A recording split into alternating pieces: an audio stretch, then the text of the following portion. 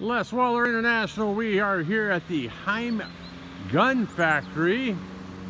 Very small town, about three hours east, northeast of Wiesbaden. So we're here for a gun factory tour. Don't know how much we're gonna be able to show you inside, but I figured the least I could do is uh, introduce you to the uh, gun factory. Uh, they do have an online website. We'll give you that in the link in the description below. And we'll see what other types of uh, press materials we can include in this video. So we get up at four o'clock this morning just so we could come here and do the factory tour. You can see it's a pretty nice building here. Got some parking down there for us over there. Most of the other parking on the street has been taken care of already. So we'll see you on the inside. Anyway, the company was founded in 1865 by Friedrich Wilhelm Heym in Suhl, Germany. Suhl is about 35 kilometers from here. It is the cradle of German gun making, literally. Uh, they've been making fine firearms in Suhl for nearly 500 years. Reason? They had the iron ore in the ground there. They had the craftsmen they needed to do it, and they had the wood they needed for stock wood. So everything was very, very close by. Uh, the uh, Krieghoff is an old Suhl company, Sauer and Son. Carl Walters is from Mehlis, which is about 10 kilometers from Suhl. Mauser is about the only one that didn't start in Suhl. They're in North Oberndorf Neckar and they're still there.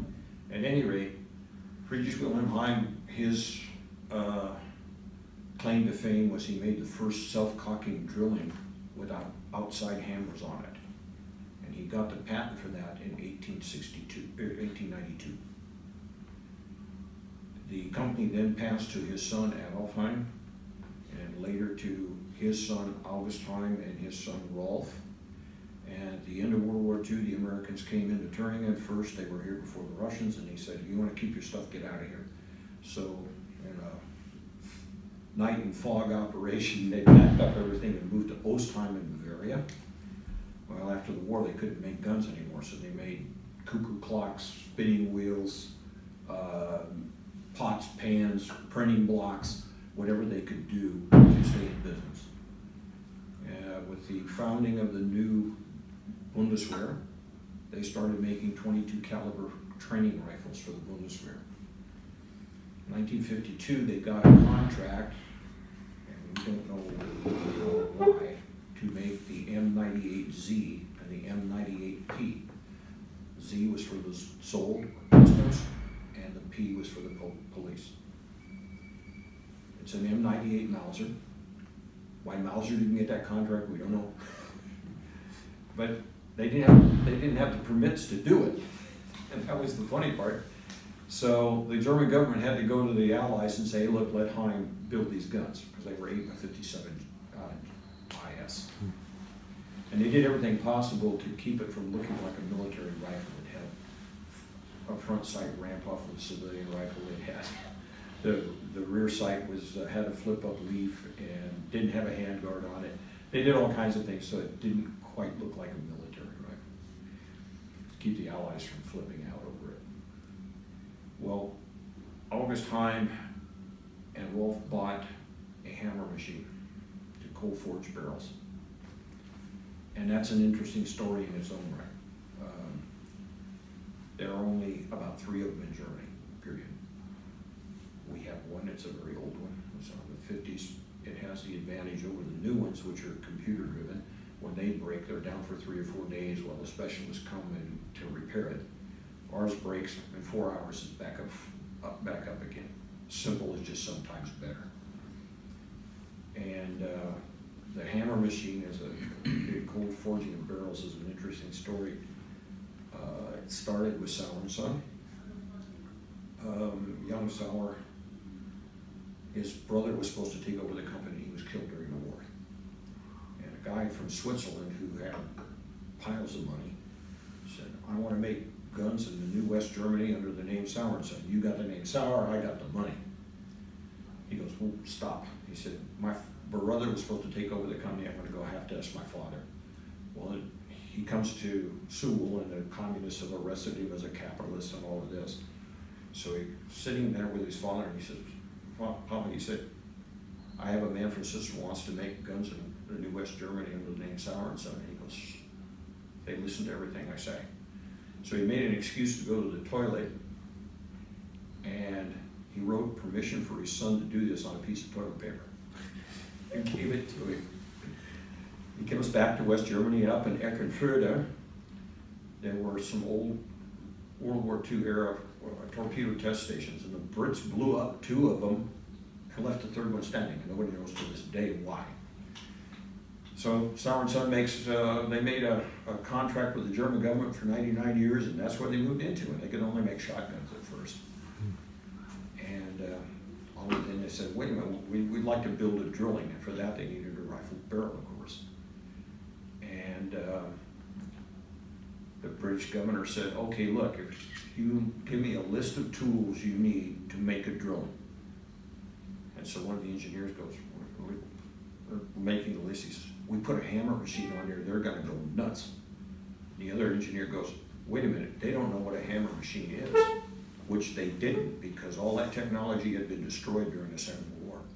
The Allies never got their hands on cold forged barrel technology after the war. So the British governor approves it. He comes to watch him make barrels, and this thing's spitting out a barrel every three minutes. He went crazy. They said, wait a minute, you gave us permission to make barrels for our drillings, and that's all we're going to use them for. And Sauer and Son, even today, will not sell you a barrel blank. They will sell you a barrel for a 202 or, a, or one of their, where you can change the barrel. That's all they'll do. And then the way I rest, uh, understood the rest of the story, they kind of paid a severe price for that. There was a time, a long time before they got permission to build bolt, bolt action repeating rifles. And that kind of happened when an American came to Sauer and and said, I want you to build my rifles for you. Not even the Brits were going to say no to Roy Weatherby. So Weatherby Sauers are extremely sought after rifles and they are extremely good. And then it went on from there. They, are still in Eckernförde, up in North Germany, right by uh, Kiel. So anyway, the, that's how the hammer machine thing came around. So back in, so Heym buys a hammer machine. They got a contract from Mauser to build the Mauser 3000 and 2000 rifles, which were designed for the American market. It became this, the Heym SR-10 and then it went on to the SR20, the SR30, or SR30, and then the SR21.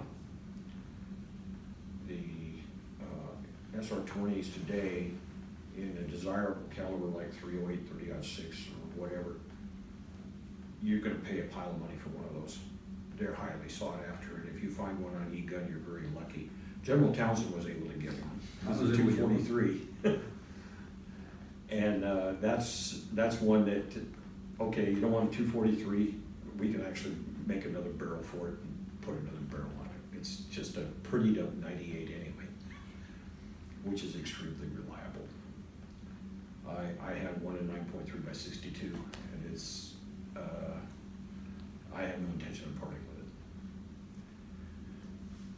But that's after uh, Rolf Heym passed away at a fairly young age, and his wife took over the company, Elizabeth Heym. She had no clue about making guns, but she had an ace in her hand, and that was a guy by the name of Peter Bowden.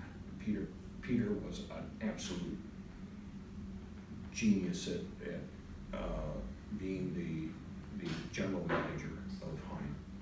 And he brought Heym into the world of safari with the 88B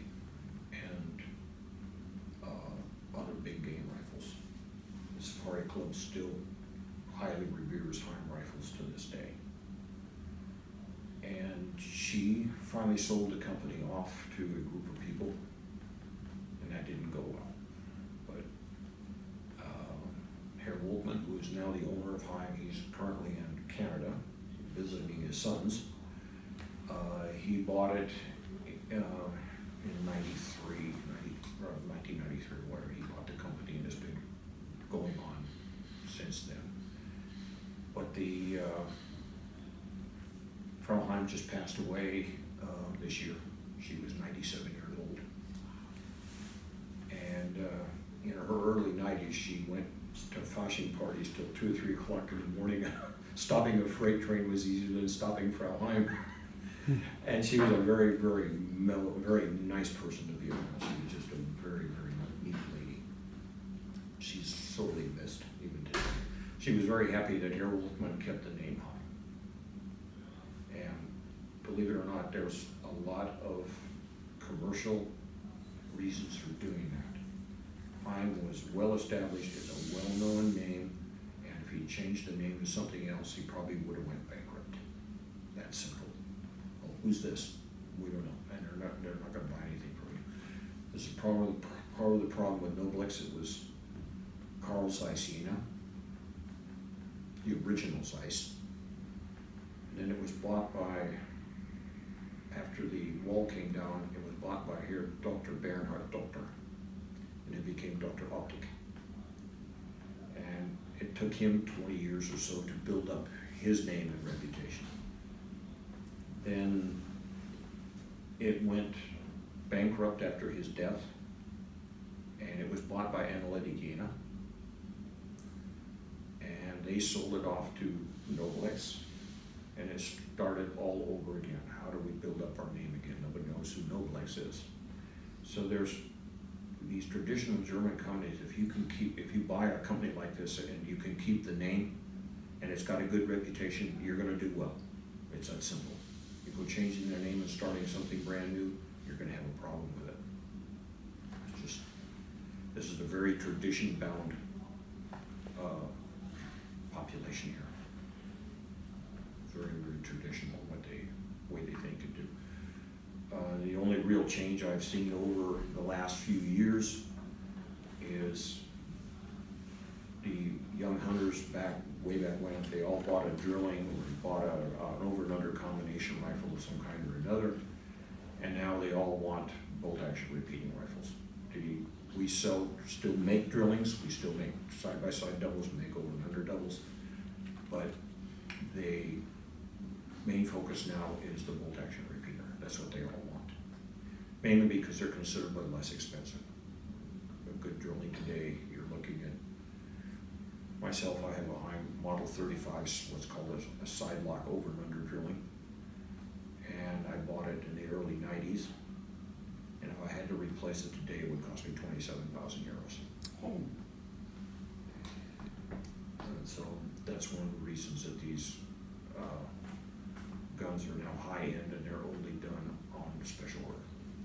We don't have any in the production line at all. The bolt action repeater is the, the name of the game these days. We have, uh, currently suspended, uh, production of the Model twenty-six, uh, combination guns, the over and under rifle. It either came as an over and under rifle or as a rifle shotgun combo, or as a, what we call a mountain carbine or a Bergstützen. It was a small caliber rifle on top and a large caliber rifle on the bottom. And so now you kind of know the history of Heym and how this all came about. And from here, we can start back through the factory and take a look of how these things are made. And you will see how a cold forge barrel is made. Thank you.